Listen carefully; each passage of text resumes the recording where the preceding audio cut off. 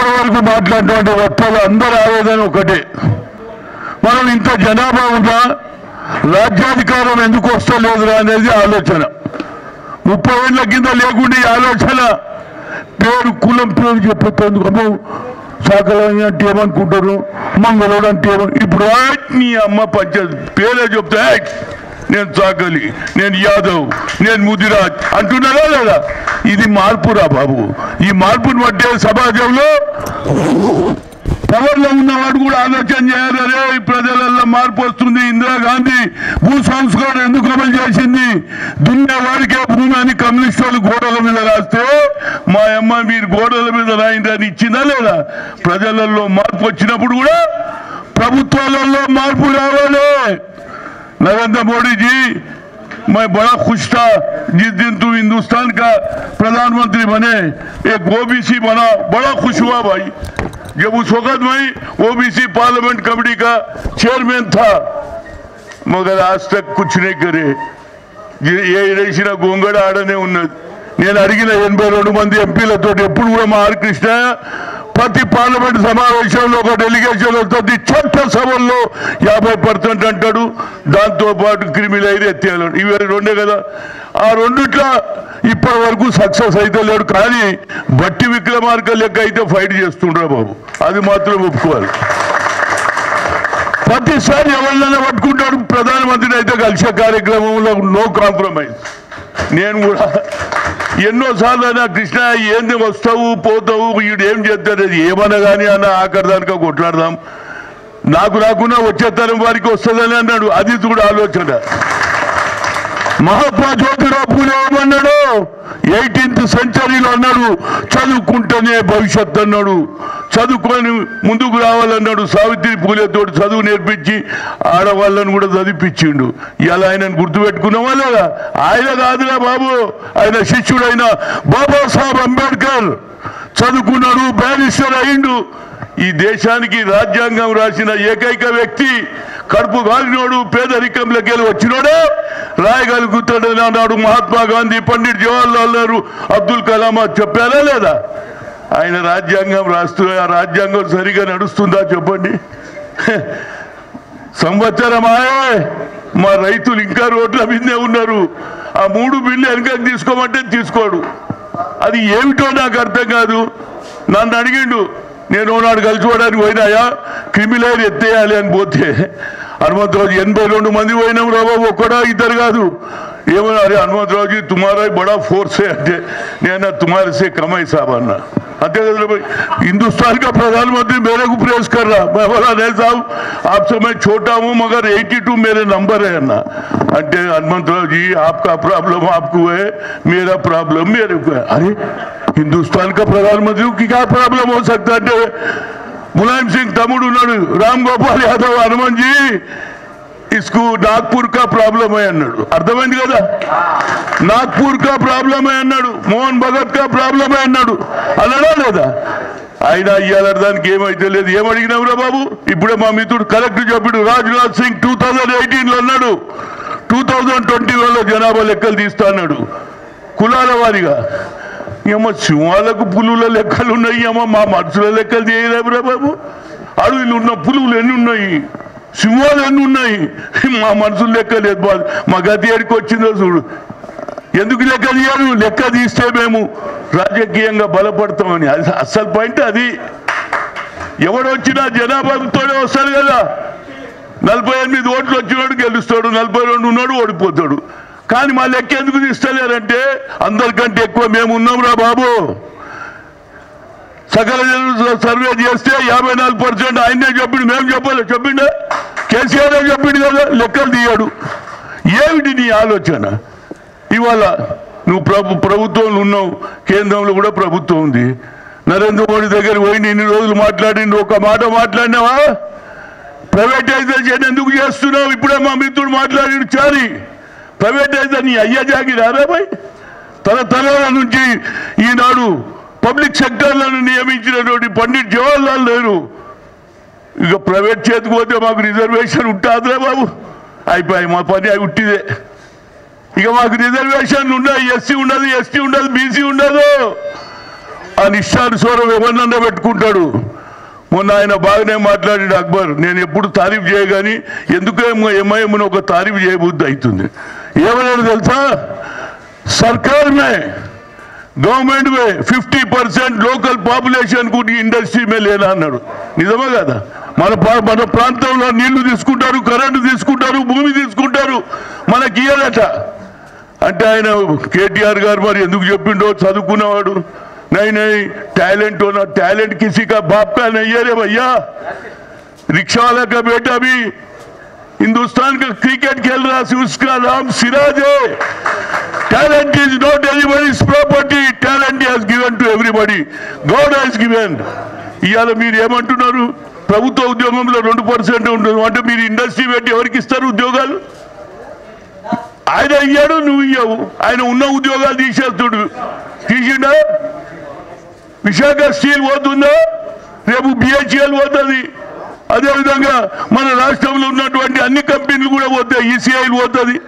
ఏమిటిది ఇవాళ నేను ముఖ్యంగా ఈ మీటింగ్ జరుగుతుంది దేని మీద జనరల్ జాగారు? ఇవాళ శీర్షికలు కూడా రాస్తున్నారు. కులగన సామాజిక అవసరం అంటున్నారు. మార్పు వచ్చిందిరా భయ్. మార్పు వచ్చినప్పుడు మనం మార్పుతో పాటు ప్రభుత్వాలు నడవాలా లేదా? దాని గురించి నేను మొన్న మా పార్టీలన్నా మల్లు రవి ఇంటే ఉన్నాడు. మొన్న మొన్న మా దగ్గర ఏమైంది? ఆత్మగౌరవ సభలైనా లేదా? ఎస్సీ ఎస్టీ ఆత్మగౌరవ సభలు అయితే నేనన్నా బీసీ గర్జన కూడా జరగాలిరా భయ్. జరగాలి లేదా సపోర్ట్ చేయడు. బీసీ గర్జన కూడా జరగాలి. పాపులేషన్ ఉన్నాం మేము. అది కూడా జరగాలి. ఊరూరు తిరుగుదాం. మీ ఎంబడి వస్తా సబ్ నిజంగా సమాజంలో అట్టడుగున ప్రజానీకంలో రాజకీయ చైతన్యం వచ్చింది. ఇది భారతదేశం స్వాతంత్రం వచ్చింది డెబ్బై ఐదేళ్ళ క్రితం. కానీ నిజమైన స్వాతంత్రం ఎప్పుడొచ్చింది? అంబేద్కర్ రాజ్యాంగం రాసినాక వచ్చింది రా నాయన. మహాత్మా గాంధీ బ్రిటిష్ వాళ్ళని పంపించేసిండు నాయను కానీ స్వాతంత్రం వచ్చింది అట్టడుగున బావుల దగ్గర రాలే గుళ్ళ దగ్గర వడియలే చెప్పులు తోడుకోనియలే ఈ తోడలు అలాంటి సమాజాన్ని మార్చిండు అంబేద్కర్ అందుగురించి నా ఉద్దేశంలో. తప్పనిసరిగా బీసీకి జనగణ కావాలి. లెక్కలు తెలియాలి రాజ్యాధికారం రావాలి. ఒక్కడైనాడే బీసీ ముఖ్యమంత్రి. ఒక్కసారి అయిండు పాపం మా సంజీవయ్య. ఎక్కువ రోజులు ఉంచలే. దేడు సార్లు ఇంటికి తోలిచ్చిండు ఎక్కడ చూసినా అక్కడ కూడా పెద్దలు. ఎన్ని రోజులు రా? భయ్ ఓట్లు మాది రాజ్యం ఇక నడవదురా బాబు. మార్పు నేనన్నా నేనేం చెప్పినా కానీ అందరు లోపల ఉన్నది కానీ కొందరు అంటారు కొందరు అన్నారు హనుమంతుల్లో ఏది ఉన్నా ముఖం మీద ఉంటాడా? అనకపోతే ఏం చేస్తారు రా ఏం చేస్తారు మీరు కడుపులో దాచుకోవాలి. దాచుకుంటే క్యాన్సర్ వస్తుంది వస్తుందా అది గురించి నేను ఉన్నది ఉన్నాడు చెప్తా. నా ఉద్దేశంలో ఆర్ కృష్ణ గారు మంచి సబ్జెక్ట్ పట్టిండు. దీంతో పాటు ఎవరికి లేని క్రిమి లేని మాకెందుకే? చెప్పు నువ్వు చెప్పు. నేను ఎందుకంటే ఆయన కాలేజీలలో ఫీజు రియంబర్స్మెంట్లో రాజశేఖర్ తోటి కొట్లాడు చేపించాడు పిల్లలకు చదువు చేపించి అన్నీ చేశాడు. కానీ మేము కూడా కొంత చేసినాం ఢిల్లీలో. చేసిన వాళ్ళ పదకొండేళ్ళు కొట్లాడి ఐఐటి ఐఐఎంలో మా పిల్లలకు చదువు లేదు. సుప్రీంకోర్టు కొట్టేసింది. No question of giving OBC to IIT IIM All India Institute of Medical Sciences అని కొట్టేసింది. అప్పుడు నేను అదేవిధంగా అర్జున్ సింగ్ గారు కలిసి సోనియా గాంధీ మేడం గారు, madam our boys will come our girls will come in rural area local language no English only Telugu Telugu Telugu how we can studied in IIT IIM you give him chance అంటారు అప్పుడు ఏం చేయాలంటే నేను madam you can put a word to Manmohan Singh ji great to Manmohan Singh ji ఇమీడియట్గా పార్లమెంట్లో bill పెడితే లల్లు ప్రసాద్ యాదవ్ నేను అందరం కలిసి ఐఎస్టి మెజార్టీతో బిల్లు పాస్ అయింది. ఇవాళ కొన్ని వేల మంది చదువుతుర్రా బాబు. IIT IIM. అంతేకాదు ఎస్సీ పార్లమెంట్ కమిటీ ఉండే కృష్ణ మనకు లేకుంటే బీసీలకు. అరే ఇది ఎందుకు రాబోయి? లెక్క తెలియాలి కదా. మనం ఎంతున్నాం? ఎంతమంది ఉద్యోగాలు వచ్చినాయి? ఎంతమంది ఆఫీసర్లు ఉన్నారు? ఎంతమంది కింద ఉన్నారు? తెలుసుకునడానికి ఏ మాట కా మాట? ఇది కాంగ్రెస్ మీటింగ్ కాకుండా వాస్తవాలు చెబుతారు రాహుల్ గాంధీ లిటరేట్ తీసుకున్నాడు. లేదు sir what is this when you are giving to opportunity for ఎస్సీస్ SC parliament committee is there why it was not OBC parliament we are fifty fifty percent of population అంటే మీరా కుమారికి చెప్పి చేయించుండు. అప్పుడు తెలిసిందే లెక్క మాది. క్రిమిలేర్ పెట్టిండ్రు. మేము తొమ్మిది కూడా దాటలేము. ధర్మంగా చెప్తున్నా.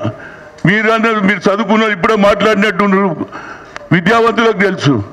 Nine percent we are not double digit we are not crossing because of creamy layer Hanumantharao వరకు ఎంపీ కూడా నా బిడ్డకు ఛాన్సే లేదు. అయిపోయాయి. ఇక లేకుంటే ఉద్యోగంలో జాయిన్ అయ్యేటప్పుడు ఇరవై ఐదు లక్షలు ఇరవై ఐదు వేల జీతం ఉంటుంది. ఏడెనిమిది పిఎస్సి వల్ల ఏమవుతుంది సెక్షన్ ఆఫీసర్ ఎనభై వేలు వస్తుందా లేదా? ఇక ఆయన కొడుకు లేదు బిడ్డ లేదు అయిపోయినాడు. రామ్ నామ్ సత్య రామ్ నామ్ సత్య. ఏమిటి మాకెందుకు పోయి ప్రీమియర్ ఇయ్యాడు దానిక?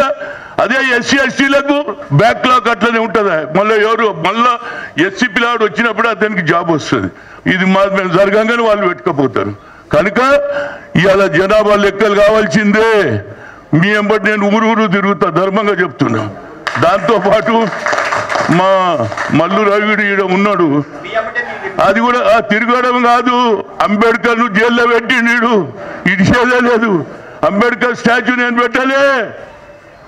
జే భీమ్ కార్యకర్తలు పెడితే దాన్ని కూలగొట్టిన ఒక రోజు ముందు. డస్ట్బిన్లో పడేస్తే కొత్తది తెస్తే అది కూడా జైల్లో పెట్టిండ్రు. ఈ రెండు ఇష్యూస్ నేను తప్పనిసరిగా మీ ఎంబడి అంటే అక్కడక్కడ ఎస్సీ పాపులేషన్ ఉంటుంది వాళ్ళకి తెలియాలి కదా. అన్నం పెట్టిన పెద్ద ఆయన తొవ్వ పెద్ద ఆయన దేవుణ్ణి అయితే చూడలే ఎస్సి అంబేద్కర్ రూపంలోనే చూసిరు దేవుణ్ణి.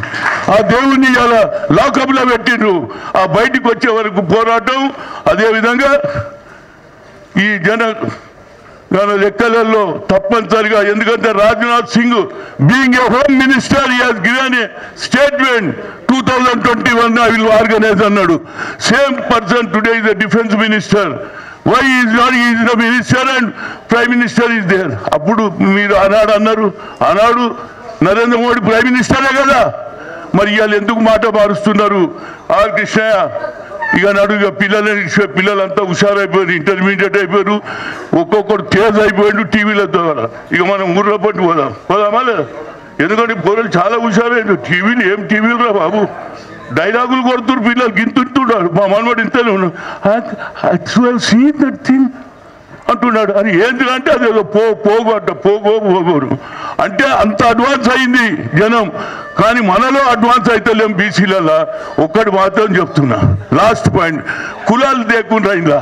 మనదంతా బీసీ కులం మీ కాలం కులాలు తెస్తుంది అగ్ర కులాల నాయకులు మనకు మనకు పెడతారు సాగరాయనకు మంగళాయన పెడతారు మంగళాయనకు ముదిరాజు పెడతారు పంచ. అది అయిపోయింది లేస్తుంటారు చేస్తుంటారు లేస్తుంటారు చెప్పకుండా మనం ఉం, ఈ వద్దు ఇప్పుడు ఆర్కృష్ణ లెక్క సమాజంలో మేము లీడర్ అవుతామా కాదా ఇడిచిపెట్టు. కానీ ఈ రాజ్యానికి తెలంగాణ ప్రాంతానికి బడుగు బలైన వర్గాల వాడు ముఖ్యమంత్రి అయినాడే నిజమైన మేము స్వార్థపరమైన మాకు రాదు మాకు అయిపోయిన సీన్. నాకు వచ్చిన దగ్గరకు వచ్చి జా జా- జాక్పాట్ వెళ్ళిపోయింది. ఇట్లా దగ్గరకు వచ్చింది నైన్టీలో అవుతుండే రాజీవ్ గాంధీ పంపించిండు. కానీ రాత రాసి ఉండాలి ఏదే కానీ. తిల్లే తిని తిండి తల్లే ఉంటుంది. ఒక ఫోన్ వస్తుంది. యాక్సిడెంట్ అనగా అన్నం విడిచిపెట్టి పోతామా లేదా? నాది అదే సీన్ అయింది. ఏదైనా కొత్త వారికి ఎవరికైనా రాని అదేవిధంగా ఈ కుల లెక్కలు అయ్యే వరకు మనం పోరాటాడదాం. అదేవిధంగా ఇరవై ఏడు మంది మంత్రులను చేసినని గొప్పలు చెప్పుకుంటున్నారు. కానీ మా కాంగ్రెస్లో ఒక కల్చర్ ఉంది రవి.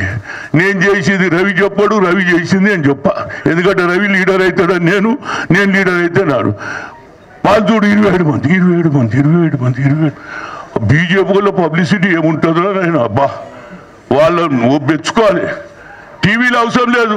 కొత్త కొత్త నేను చిన్నగా ఉన్నప్పుడు చూసిన ఏది when I was seventeen years ఇప్పుడు వచ్చాడు పాన్ షాప్ దగ్గర. అరే నీకు తెలుసా? ఓల్డ్ సిటీలా కడుపుతోటి ఉన్నామని పొడిచిపోయినాను. నీ అమ్మ ఇది ఎక్కడ పంచాయతీలు నేను పోలీస్ స్టేషన్ తెలుసుకున్నా. ఏం లేదు. అంటే అట్లా ప్రచారం చేస్తారు అంటున్నా బీజేపీ వాళ్ళు. ప్రచారంలో అలా ముఖాబిలో ఏం లేదు. ఇక మనం ఏదో పాపం ఆర్ కృష్ణ కృష్ణ జనార్దన్ వీళ్ళందరూ మీటింగ్లు పెట్టి గంట సేపు లెక్చర్ ఇవ్వలేదు. ఏం అవసరం లేదు. కూర్చున్న దగ్గర లెక్కలు చెప్పేస్తారు ఆడ అది ఇది ఇట్లయింది ఇది. ఇక ఆయన తిరుగుతున్నాడు. ఆయన పేరేం పేరు? బీజేపీ అధ్యక్షుడు. బండి సంజయ్. దయచేసి చెప్పు మరి ఈ పబ్లిక్ సెక్టర్ ఎందుకు అమ్ముతుండో చెప్పురా బాబు. మాకు ఉద్యోగాలు పోతున్నాయి దాని దగ్గర ఆయన ఏదో సాధించినట్టు తిరుగుతూ ఉన్నాడు. అరే మా ఉద్యోగాలు పోతే ఇచ్చేటోడు ఎవడు? మా రిజర్వేషన్ పోతే అడిగేటోడు ఎవడు? ఇవాళ చాలా అన్యాయం జరుగుతుంది. ఇక్కడ కూడా మా కేటీఆర్ అంటాడు ప్రభుత్వ ఉద్యోగాలలో రెండు పర్సెంటే ఉంటుందట.